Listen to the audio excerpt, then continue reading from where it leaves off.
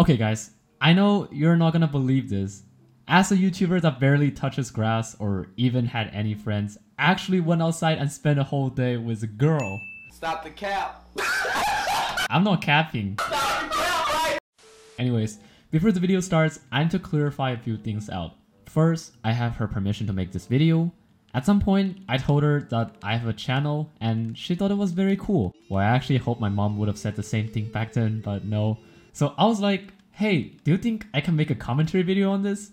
I'll say a lot of nice things about you. But what I actually meant is, yo, can I use you for content? Okay, now I hope she never finds this video. Anyways, the reason for this is because I've always had so much personal stuff and thoughts that I really want to talk or share to someone else about, but I really couldn't trust anyone online, and I also had a hard time finding someone that I'm comfortable talking with IRL. However, she's a lot different from everyone else that I've talked to. Not only did we have a lot of similar life experiences, but we also shared a lot of common topics and interests. But guys, don't worry, she won't see this video yet, or never.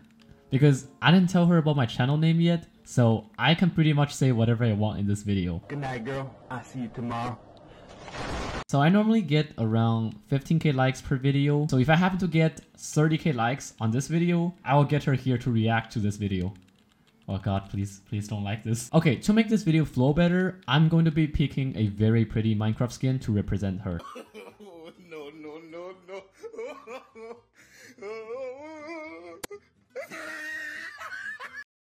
So many of you may ask, how did I get a girl?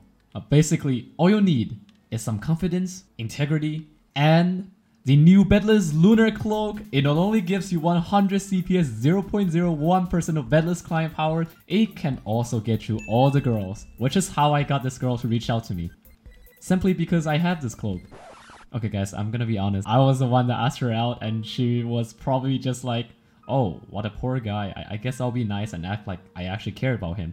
Again, I made a community post on this and many people think it's a date, but I just want you guys to know it's not a date, okay? Okay. We're just friends. Friends, okay? Okay. I just met her about two weeks ago and she's very pretty and cute while I'm like mad ugly. Well, I don't know how she feels about me, but I really like her personality and how mature she is. But again, she could be just doing this to be nice.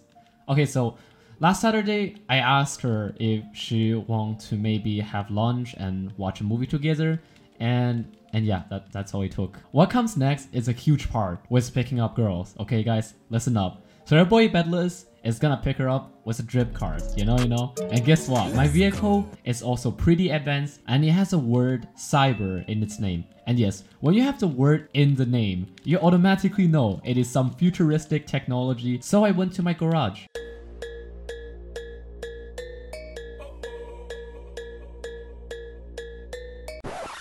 So she picked me up at around 12:30 and we had some ramen and ice cream. It's the first time where we actually sat down together and had a conversation. We talked about many personal things and opinions on different topics, which I don't really want to share about in this video. Uh, I hope you can understand because it's a little bit too personal. But what really surprised me is that we agreed or had similar thoughts on almost everything that we talked about. I was very happy and shocked at the same time because I've never spoken with someone that I could relate with to this point. Not even my best friend from high school. So at some point, I feel like she's reading my mind or something. Um, guys, I think she's hacking. She might not be a gamer herself, but I think she has a way better gaming chair than all of us. Okay, so just like Minecraft PvP, you wanna always get the first hit in a fight. And with this mindset, yeah guys, I know I, I play too much Minecraft, I, I'm literally hopeless. I think it is necessary to make the first move, so I thought I need to bring up something that can impress her. And therefore, at some point I thought maybe I can bring up my high school grades and the amount of difficult classes I took. But it turns out she's only gotten two B's in every single one of her classes in all four years of high school, and so I was defeated. At the moment, I just feel like I really agree with that one guy that said grades don't matter. After that, we went to watch one of the movies that just came out, and it's called Venom 2. Okay, guys, this movie is actually very, very poggers. You should definitely watch it. It's really worth it. Well, in the past, I've only been in a movie theater with girls when we were hanging out as a large group. So this is also the first time that I've been in a movie theater with just one girl.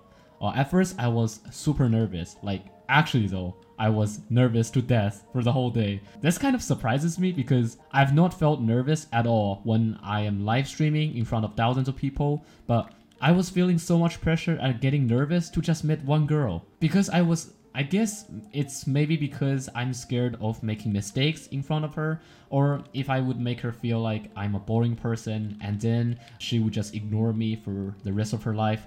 Uh, but I'm glad that didn't happen, okay? After we watched the movie, uh, we actually went to Best Buy.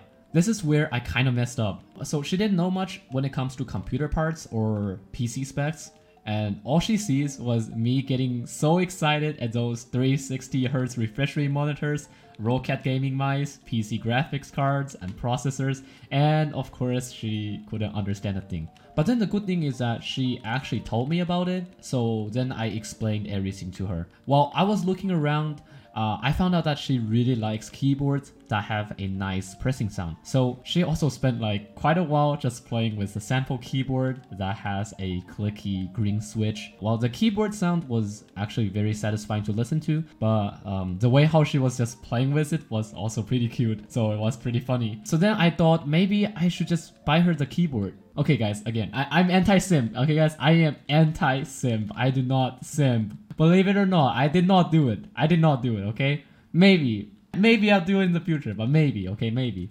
After that, I thought I did a terrible job when we were in Best Buy and thought that maybe she was just gonna dump me at that point. But surprisingly, again, I invited her to have dinner together and she was like, sure. And yeah, we, we had dinner together and I had a lot of fun chatting with her. When we finished dinner, it's already 9 p.m. And here is what surprised me the most. So I was assuming that 9 out of 10 she was going to say no, but I still decided to ask her if she wanted to come and visit my apartment and my gaming room. And she actually said yes. So for those of you don't know, um, in Asian culture and especially for girls from Asia, they are very cautious when it comes to protecting themselves, and that is a very good thing. So I was just so shocked because we just got to know each other more on that day and it was already pretty late and she still decided to visit my apartment. So for the most part, I just showed her around my rooms, but at the same time, I realized that if she really gave me so much trust and if she really decides to trust me this much, coming to my apartment this late, then I should also give her all my trust in return. So when we sat on the couch, I told her even more personal things about myself including things that's been troubling me for years and even stuff that I've never told my parents about. At the same time, she told me about her experiences and struggles. And the funny thing was that we didn't really realize when we finished talking it was already the next day at 1 a.m. and and then she drove home, of course, and then I took a shower and just slept. Well, I haven't felt this alive in a very long time. I've been pretty much living this robotic life, and I don't know. I, I just feel like everything was a little bit unreal or whatever. But um, what happened that day really made me feel alive again in a very long time. I really thought that when my best friend from high school left me to a different university, I would never find someone that can really understand or relate with me for at least uh, the next couple years. I really didn't expect that I was lucky enough to meet someone like her in just weeks after school starts. At the end of the day, I don't I don't mind how she feels about me, but I really want to stay as her friend and be around her. I'm already very grateful for the fact that I even met her and I really couldn't ask for more. So yeah, uh, for those of you that stay till the end, I also want to thank you very much for being here, listening to what I have to say. And I also hope you can find someone like this in your life. And I know, especially in this community, some of you are quite antisocial, and I'm also like that even even now. But I'm encouraging you to step out of your comfort zone and go meet new people. Finally, again, um, if this video gets somehow gets 30k likes, I'll get her to react to this video. Well, yeah, um, that's the end of the video. Um, thanks for watching and good luck with your life.